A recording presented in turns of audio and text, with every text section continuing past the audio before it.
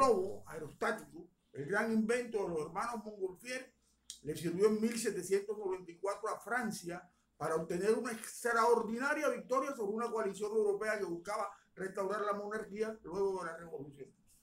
Vamos a contar un poquito algo de la historia.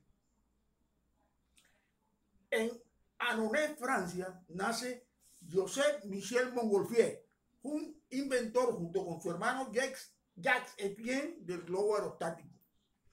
Los hermanos Montgolfier no eran científicos, eran solo unos simples observadores que conocieron los experimentos de Joseph Priestley y Antoine Lavoisier sobre el aire caliente. Y sabían que este aire caliente era mucho menos pesado que cuando estaba frío.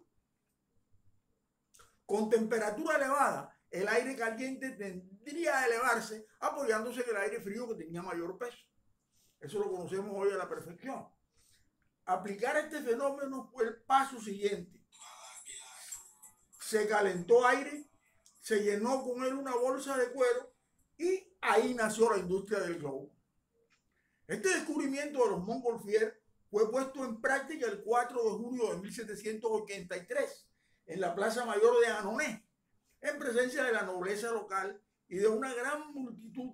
Encendieron una hoguera alimentada con paja y lana húmeda, debajo de un gran globo de tela y papel. Esto provisto de una abertura, desde luego. Ocho hombres sujetaban el globo mientras se hincaba, y cuando soltaron las amarras, el aparato ascendió vigorosamente entre los aplausos de los espectadores hasta perderse casi de vista. El aerostato, o aeróstato como dicen otros, sin tripulación, recorrió alrededor de dos kilómetros y descendió al enfriarse el aire que tenía en su interior. Aumentó de peso y entonces, lógicamente, bajaba. Esto no lo estoy contando yo, esto lo, lo estoy tomando de la histoire française, la historia francesa.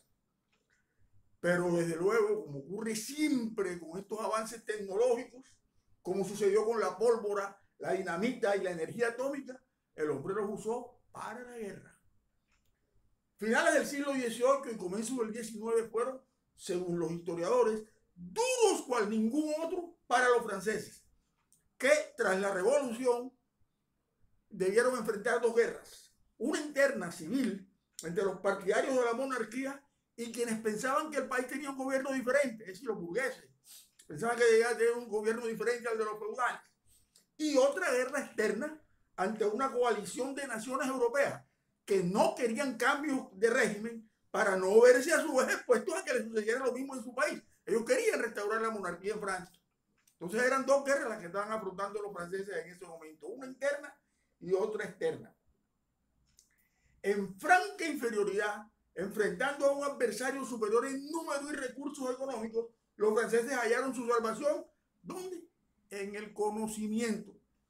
El 25 de junio de 1794, en la batalla de Fleury, los franceses pusieron en práctica este conocimiento tecnológico, pero con una modificación básica. En lugar de utilizar el globo o aire caliente, como hicieron los Montgolfier, usaron el hidrógeno. Antoine Lavoisier junto al teniente Jean-Baptiste Meunier, había desarrollado en 1784 un nuevo método para obtener hidrógeno. Simplemente se hacía reaccionar un flujo de vapor de agua con un hierro metálico a través de un tubo de hierro incandescente desde luego y calentado a todo. Así cuenta la biografía de Lavoisier. Así fue como, como lograron producir el hidrógeno. Entonces, la batalla a la que nos referimos, la batalla de Fleury, enfrentó a los franceses, dirigidos por Jean-Baptiste Jourdan, Jean-Baptiste Kleber y la coalición dirigida por el general austriaco Federico Josías de Sajonia-Coburgo, Varios historiadores, entre ellos Enrique Sicilia Cardona, describen con gran sencillez lo sucedido en el combate con la utilización del globo llamado l'entrepreneur, que quiere decir emprendedor, que era comandado por el general Antoine Moriot y el piloto Cudero. Dice la historia, la entrepreneur realiza su ascenso en la batalla con el general Morlot del Estado Mayor a bordo.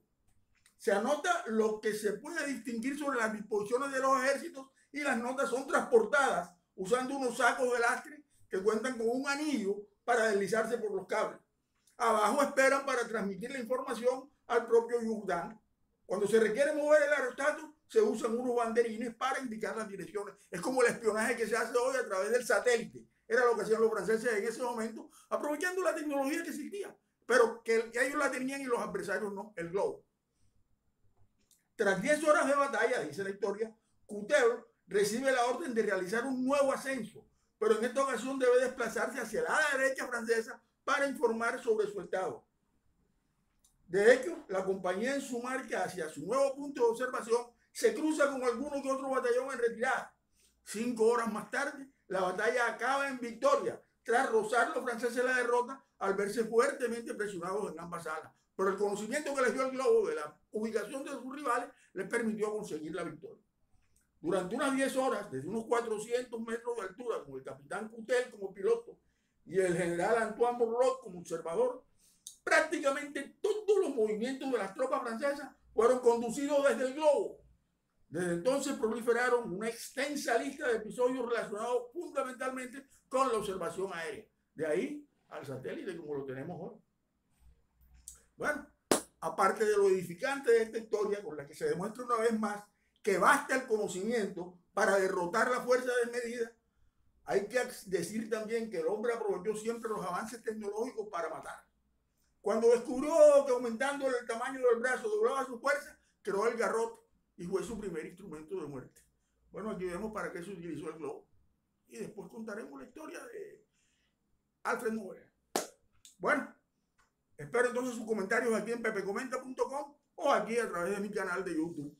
Acá los espero.